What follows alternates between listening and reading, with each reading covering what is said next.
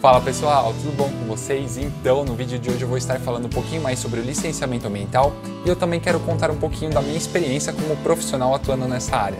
Se você é novo por aqui, seja muito bem-vindo. Eu sou Felipe Priolato, sou engenheiro ambiental e atuo como consultor ambiental. Bom, e antes de iniciar aqui, eu gostaria de mencionar que eu já fiz um vídeo explicando sobre licenciamento ambiental. Foi um vídeo mais técnico, onde eu já expliquei as leis, regulamentações, quais são as suas fases, estruturas. Agora nesse vídeo aqui eu quero fazer uma complementação das informações e também quero explicar um pouquinho mais da minha experiência como profissional atuando nessa área.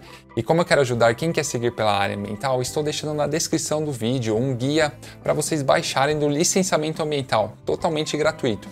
Nesse guia eu mostro toda a estrutura, leis, portarias que estão presentes no licenciamento ambiental de forma bem simples e didática. Baixe esse guia que eu tenho certeza que vocês vão gostar. Eu nunca vi nada assim tão completo aí na internet. Ah, e por todo esse esforço e conteúdo que estou deixando aqui, já vou pedir para você deixar seu like e se inscrever no canal. Assim você não vai perder nenhuma novidade e também vai me motivar a trazer mais conteúdos aqui para o canal. E para falarmos como que é trabalhar com licenciamento ambiental, eu acho importante a gente recordar alguns pontos para contextualizar vocês. Lembre-se que o licenciamento começou em 1981, com a Política Nacional de Meio Ambiente, que tornou obrigatório que as atividades potencialmente poluidoras ou utilizadoras de recursos naturais estivessem sujeitas a uma autorização prévia dos órgãos ambientais para se instalar e operar. O licenciamento ambiental foi dividido em três esferas de competência para fazer a sua análise, dependendo das características do empreendimento e da atividade a ser licenciada. São as esferas federal, estadual e municipal. O processo de licenciamento também foi dividido em três etapas, sendo que a primeira é a licença prévia, que autoriza a viabilidade do empreendimento, a sua tecnologia e localização, a licença de instalação, que autoriza a instalação do empreendimento, desde que atendidas as condicionantes da licença prévia, e a licença de operação, que de fato autoriza a operação do empreendimento e da atividade, sendo que precisa ser cumpridas as condicionantes das licenças anteriores. Já as atividades que estão sujeitas ao licenciamento ambiental estão descritas na Resolução CONAMA número 237 de 1997. Mas essa mesma resolução diz que caberá aos órgãos definir os critérios de exigibilidade, detalhamento e complementação dessa lista. Então, sempre que for fazer o licenciamento, deverá ser checado se a atividade ou esse empreendimento está sujeito ao licenciamento ambiental com o órgão responsável. Outro ponto também que precisa ser verificado é que, dependendo da atividade do empreendimento, será exigido algum tipo de estudo ambiental. Alguns estudos são mais simples e outros mais complexos. Bom, e por que, que eu falei tudo isso aqui?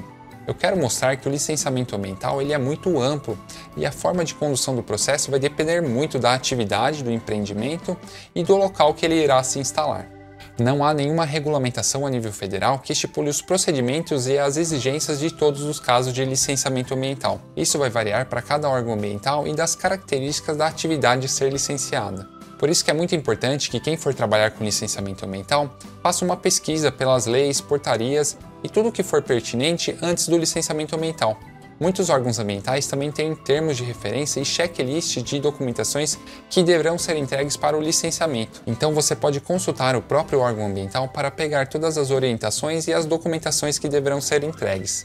Essa é a melhor forma, na minha opinião, de quem quer começar a trabalhar na área, de ir aprendendo como que são os processos de licenciamento.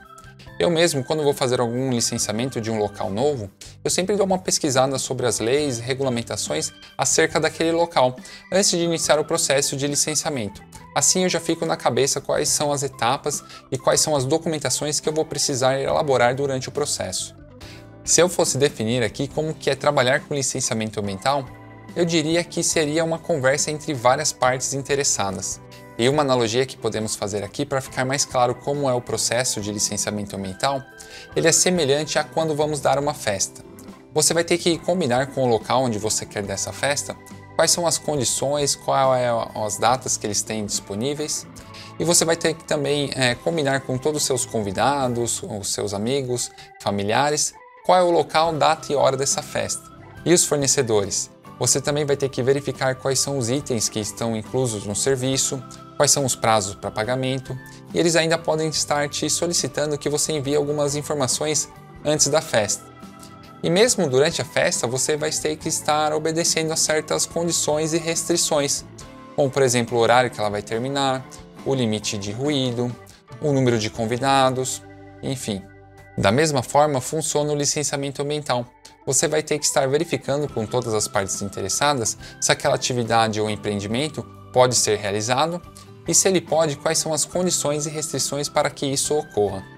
E eu vou dar um exemplo aqui de um fator que muitos esquecem de olhar antes de iniciar o processo de licenciamento ambiental. A instalação de um empreendimento só pode ser realizada se ela estiver de acordo com o uso e ocupação do município que a atividade pretende se instalar. Independentemente das questões ambientais, de nada adianta você querer instalar um empreendimento em um local que o município não permite aquele tipo de atividade.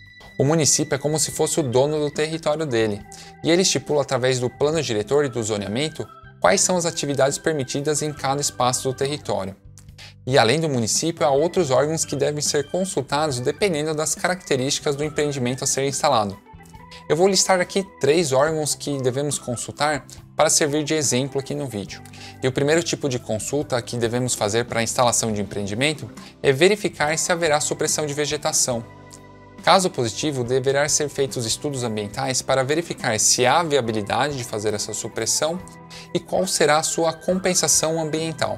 Para isso, é necessário verificar através de um profissional capacitado quais são as espécies de vegetação presente e se não há nenhum tipo de restrição, como por exemplo áreas de preservação permanente, unidades de conservação para se atestar se realmente é possível realizar a supressão dessa vegetação. A segunda consulta que devemos fazer é para verificar se o empreendimento irá precisar captar recursos hídricos e também fazer o lançamento de efluentes. Caso o empreendimento não tenha acesso à água tratada ou esgotamento sanitário, deverá ser verificado outras formas de fazer a captação desse recurso. Pode ser instalados poços profundos ou realizar a captação através de um corpo hídrico. Para isso, será necessário a solicitação de uma outorga. Aqui no estado de São Paulo, o órgão responsável é o Departamento de Água e Energia Elétrica, o DAE, que faz avaliação das solicitações de outorga. E a terceira consulta que deve ser realizada é para o Instituto do Patrimônio Histórico e Artístico Nacional, o IFAM. Bom, e por que eu preciso fazer a consulta a esse órgão? Alguns empreendimentos que vão ser instalados podem afetar zonas arqueológicas. Por isso que o IFAM tem que ser ouvido para verificar se ele não está localizado em nenhuma dessas áreas. Bom, e além desses órgãos que eu falei aqui, podem haver necessidade de mais consultas, dependendo do tipo das características do empreendimento e da atividade a ser licenciada. Vejam que atuar nessa área requer que você conheça as principais leis, portarias e regulamentações e a estrutura do licenciamento. Mas não há nenhuma cartilha que diga tudo o que deve ser feito caso a caso. Por isso que é muito importante que sejam verificados quais são as exigências para cada tipo de atividade que vai ser licenciada. E depois que você vai ganhando experiência nessa área, os próximos processos vão ficando mais fáceis, porque você já passou por ele e também você já sabe quais são as exigências que serão solicitadas. E desde que eu comecei a trabalhar nessa área, eu passei por diversos aprendizados.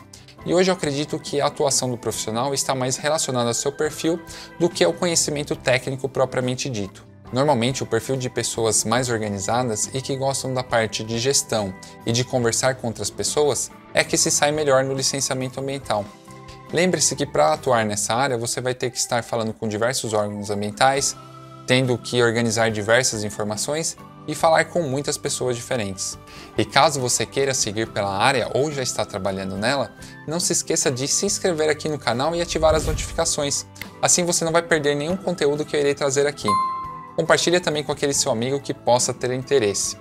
E deixa para mim aí nos comentários quais são as suas dúvidas referentes ao licenciamento ambiental e quais são os outros vídeos que você querem que eu traga aqui para o canal. Muito obrigado e nos vemos nos próximos vídeos. Tchau!